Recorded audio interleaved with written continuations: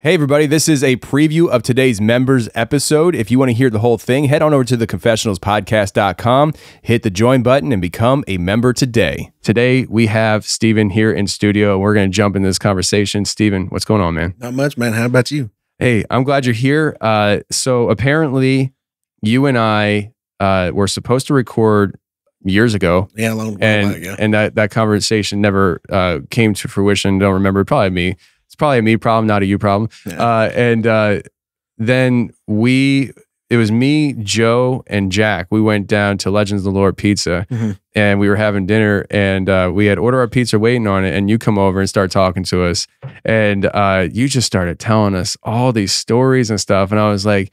Hey man, I should get you on the show. And you're like, funny enough. yeah. Well, actually, I don't know if you remember the conference last year. I'm the guy that stood up at the end and That's asked the crazy question, trying to blast Yeah. out the BFRO people. Yeah, that's funny. Did you ask that question on purpose to Yeah. like I felt like they was picking on you, to be honest, because they're like, you can't take a story and turn it into. I remember that. And they're strictly animals. yeah, that's me. That was me. I'm even the guy that made Matt Moneymaker mad about when he was going around asking the uh, questions with the scientist guy. hmm Yeah, I even made Matt Moneymaker mad where he's mad enough he turned to give me the most hateful look you've ever seen. Did he really? Oh yeah, my son sit there and watched it happen. Did, could you feel the eyes just Oh, glaring? yes. Yeah, you're like, ooh, We, yeah, we made eye contact and I was like, huh? Did you, know, smile? Oh yeah, yeah. I even said a few choice words. Did you? Oh yeah, because what I was, you know, that guy was there to do, um, give his take on what his studies he was going to do differently than anybody else. Well, I was like, well, this guy sounds like everybody else. we're going to take the samples, we're going to do this, we're going to do that, but what happens most time? They come back contaminated. Yeah. So I was like, well, I've got a question. So Matt come over. I was like, well, how is this guy going to prove that he is going to be much different? And I went on to this other little stuff, and Matt said, great question. Turn around and ask something totally different. I'm like, dude, that's not even what I freaking asked. And I'm just sitting there going off. He turns just gives me the god awful look. Oh my god, It's hilarious. It made my day. Was it, so I, I wasn't there during that part. I was probably at our booth or something, and uh, I I didn't see that interaction, but that's hilarious. Yeah. Yeah, a lot of people in that row got, got to see it and thought, Yeah. man, you made him mad. Oh, yeah. Yeah. I don't care either. I don't. I don't know uh, what. I, I, I don't know what the whole thing is with Matt, but I know he rubs some people the wrong way. yeah. Um, he, he doesn't rub me the wrong way, probably because I don't know him well enough. I haven't looked into it all and stuff. And and honestly, like I, I mean, I had um, uh, Matt Pruitt on the show not too long ago, who is very much a flesh and blood kind of guy. And Mhm. obviously, that's. I mean, I I'm flesh and blood to the extent that yeah, when they're in this realm, they're flesh and blood, but Right. I don't think they're always in this realm. And uh, I, I think what's could what you see here in this realm could go to another realm uh, when it feels like so obviously that's where the divide happens. But I had a great conversation with Pruitt, and Mhm. I, I, I thought it was it was educational. He presented great arguments, and um, I think I'd have a great conversation with with uh, with Moneymaker too. Mhm. Uh, I, I don't think that's going to happen anytime soon. Right. Uh, I, I and I haven't tried. Just to be clear, I haven't tried to get him on the show. Uh, but even if I did, I, I imagine he's pretty bus- busy. I'm just glad I was able to get Bobo on the show, um, which he was fun. Oh yeah, Bobo's cool. I, I think he's pretty about the neatest one out of all of them. yeah, So yeah. He's he's just he's definitely the most unique character. Um, and uh, he, he anyways, he's a good dude. But uh, at the conference when you when you asked that question, yeah, I, I do remember sitting there on stage and I don't know who said it. Somebody was talking about how, you know, the people's uh, stories about these things aren't the most accurate and reliable evidence. I'm, and, and I was sitting there, I was like, well, they're not going to like me, Yeah. you know? That's that was my exact thoughts because I mean, where did all this stuff come from? Stories Yeah. from generations on generations. How do you know about Bigfoot? Well, I heard about it. Yeah, my my peepaw and his peepaw or what you know, Yeah. like, from generation to generation. Even the Cherokee stories. You mean to tell me these historical stories are just stories? They don't mean nothing. Yeah. So, I mean, here's the thing with that. I think that like their point would be that the stories are the launching pad into further evidence. You need further evidence beyond a story. Mhm. Uh, but the way they relay that, I think, and maybe even they do feel this way at times, uh, but I, I feel like there's a certain level of poo pooing the story at some point Right. when you're trying to pursue evidence. Mhm. And uh, I, I think that it would behoove people, and I don't want to say any names particular, but just people like that um, to refrain from doing that and remember the foundation of what this whole thing's built on. Like your interest in the topic came from a story. Right. You didn't, most people didn't stumble across Bigfoot themselves or a, a footprint that was 20 inches long and 10 inches wide. Mhm. They heard about it and they were interested and they started looking at it. They, and they started researching. Then they started doing all these other things, trying to find further evidence. But the whole reason why you're even there is because you heard about it and you believed it, Mhm. Exactly. or you believed it enough to find it interesting enough and research it.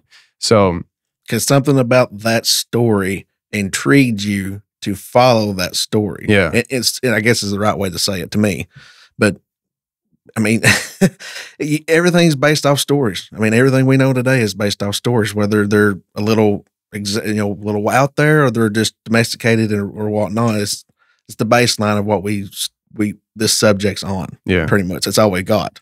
I, and I, I feel like um, I, I look at myself. I was talking to um, ah, I can't remember now. It was uh, Timothy Alberino at the Blurry Creatures Blurry Con conference, and him and I were walking out at the end of the day, and I was telling him about what I do and everything, and um, you know, like I get insecurities with things, you know, like I I I still after I'm you know I'm coming up on 650 episodes, seven years into this, and I still feel like I have imposter syndrome at times, and uh, you know, I told him I was like, you know there's parts of me that at times feels like I don't do anything of value.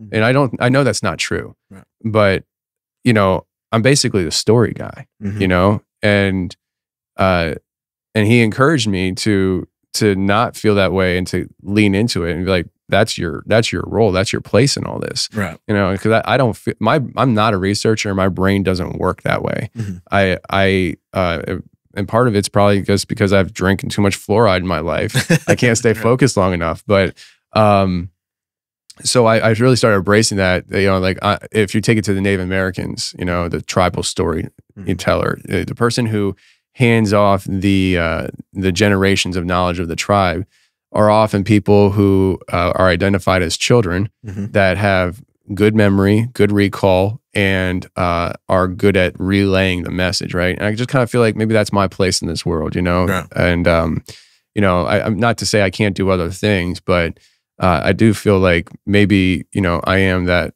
the, just the modern tribal storyteller of, Right. of all this stuff, you know? Exactly. Yeah. just kind of documenting it. So, uh, but you grew up around here Mhm. and you have countless stories. I mean, you were just dumping them at the, at the, uh, the pizza shop. And I was like, you want to come in? And so, uh, fortunately, you know, it's a Thursday and your boss lets you come in and leave. And you said you're still getting paid? Yeah. Oh, that's great. Oh yeah. Yeah. Like I said, he's into the subject too. We're we're golden. That's great. Oh, That's yeah. great. So um, let's start off with your personal experiences, though. Okay.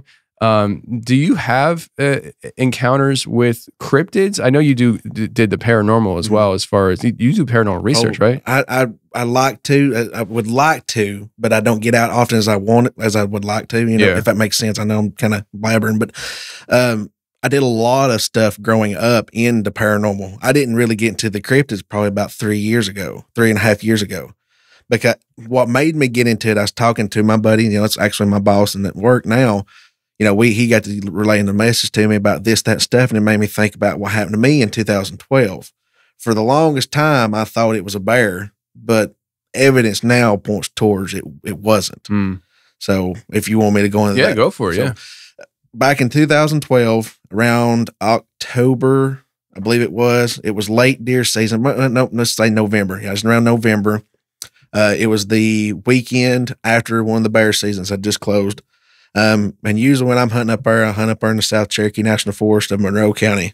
And I usually, it's me and my papa. We're always together. We was always hunting together. We would always, you know, go one way or the other. We'd always meet back in the middle usually. Well, my papa's 73, maybe 74, and just last week retired from logging all his life. He's 73, 74 now? Yeah.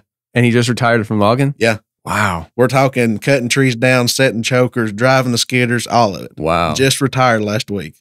And he's done it all his life. him. The Skyway Road up there, he built it. He's part of the crew that built it, helped Wow. build it, dynamite it, and all the other stuff. but, anyways, but he had to work this weekend. He's always a hard working man. So he had to work. He needed to go to work. And I thought, okay, well, I'll just go by myself. And I had this spot picked out, and it's kind of hard to explain where the spot is. It's just a spot I'd have to show you because it's just one of the random pull offs there on on the Skyway Road going up. Um, so I I had seen deer sign in there before, sign of a big buck, been in there, you know, numerous times. He's had the whole area rubbed up. So that morning I get there, I'm probably at the parking spot about mm, two and a half, three hours before daylight because I've got like a five high mic hike back in the woods. So I get my stuff together, walk back through there, nothing out of the normal, just dark. You know, you hear your little critters and whatnot. I get to my spot, I just set in for the day and I just sit there and just watch the sun come up. Um, nothing really happens. It, it, nothing happens till I go to leave. Um, so ba- basically, I start to see the sun come down. Long story short, because all I did seen was pigs and deer, little does and stuff like that. So you were there all day. I was there all day because when you go into the mountains like that, as far as I went, you're not going to go in there for two, three hours and walk two, three hours back. It's not worth it. yeah. I'd go in there and set up camp and just sit there because I'd carry my backpack with all my essentials and stuff in it. So I was there all day. Okay. Like I said, the only thing come through was a big old pig. I should have shot him, but I wasn't dragging that sucker out by myself. So uh, it's could have used them for bait for something else, though, I if you were thinking yeah. about it. well, yeah, it, it gets better with this whole story. So it's the end of the day. I see the sun coming down. I'm gauging my, you know, my sun sign by the by my fingers and stuff. That old scouts trick or whatever. You know, I've never been in scouts. Um, so I'm like, okay, it's time to go. So I pack up my stuff. I'm walking out, and I'm just bebobbing down. And I always walk out of the woods, even in or out, with my rifle unloaded. Not, I'll have it loaded in the tube because I carry an old Marlin 3030, um, but I don't carry one in the chamber because you could fall, get you know, go off and hit yourself or whatever. Yeah. So just, I'm walking out, gun, and got my backpack on, just beat bopping around, looking around. It's my own business. I hear a little shuffle to my right. I stopped and looked.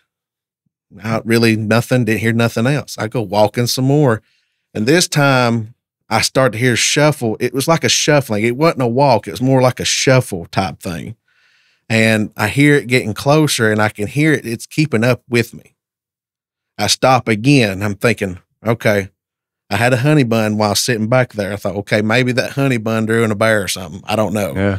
And now think about this. We only have black bear here in East Tennessee.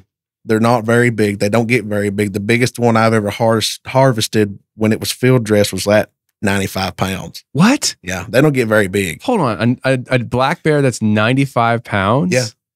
Wow. They don't get very big around here. Like, no, you go to Cades Cove, they're monsters. okay. Okay. okay. All right. Gotcha. Because I, Because they're fed there. Uh, I got you. Oh, now it's making sense because like we we were uh we were in Gatlinburg and we Mm-hmm. had a, a very large bear walking through the parking lot next to my truck, but Right. they're being fed there. Gotcha. Yeah, they're okay. But over in, in South Cherokee, they're very wild and they don't have a lot of feed source. It's over the last few years, they've had a lot of hard times trying to get acorns and all this other stuff to eat. But anyways, so what I stopped and I said, all right. And I talk, start to talk out loud. And I said, okay, bear, I know you're up there. You just stay up there. We won't have no problems. So I go walking again, walking right up beside me. I can't see what it is because it's very thick. There's a big large thicket up on that side of the mountain. I can't see what it is. All I can do is hear it. And I'm just going down there and going, hey, bear, you know, hey, I know you're just talking to it, being loud, being aggressive in a way with my voice, but Mhm. it never did budge. It just stayed right with me. So we go on down through a little bit more. And this time I hear a twig snap and it's a lot closer. I said, oh, okay, you're getting a little too close for comfort. So I start yelling again. I said, all right, you need to go on. Let's go on. So we walk some more. Gets a little closer. And this time I'm getting a little, little antsy. So I go ahead and I load, rack my round into the chamber. On my 30 30, I don't have a safety, but I can flip the, the, the hammer forward. So all I got to do is pull it up, pull the hammer back, and go to business. So we're going down through there, and this time I start to turn to face where the noise is. And I sat, I thought, okay, let's see what the, what will happen if I speed up. So I started to speed up a little bit, sped right up with me. As soon as I would abruptly stop, it would abruptly stop. I'm thinking, God, this bear, uh, this it's acting. I knew it was acting weird. It was acting very weird. And that, you know, growing up, we never thought twice to Bigfoot. We never thought of Bigfoot or nothing like that. Only thing we heard close to Bigfoot growing up was the wood boogers, but that's about it. Hmm. But I'm thinking, okay, I'm almost to the truck. I've got to see if I can get him out. So on the trail, it does a little a little curve, and the TWRA cuts some clearing out right there to plant some grass for deer can come in there and eat and whatnot. So, in this curve, it dips down. It makes like a big V. You got the other part of the mountain here, and you got this little ridge that the grass part, the grassy portion sits on. So I'm thinking, okay, he's still whatever this bear is still right here on this right hand side, and he's got to come down and if he's going to keep beside me, he's going to have to come down in that bowl, that, that V, the bottom of that V, and then come up behind me into the field. So I said, okay, I'm going to jump into the V and then jump right back into the field and see if he comes out. So I speed up a little bit. I can hear it keeping right up with me. I hit the V, jump up the ridge, and then I'm listening and I'm walking through the field. And I'm listening how closer and closer he's getting. I'm just timing. I'm just walking. I'm like, all right, ready? One, two, three. I flip around. There's nothing.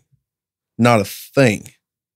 I can hear it, but I cannot see it. This was a preview of today's member episode. If you want to hear the whole thing, head on over to theconfessionalspodcast.com, hit the join button, and become a member today.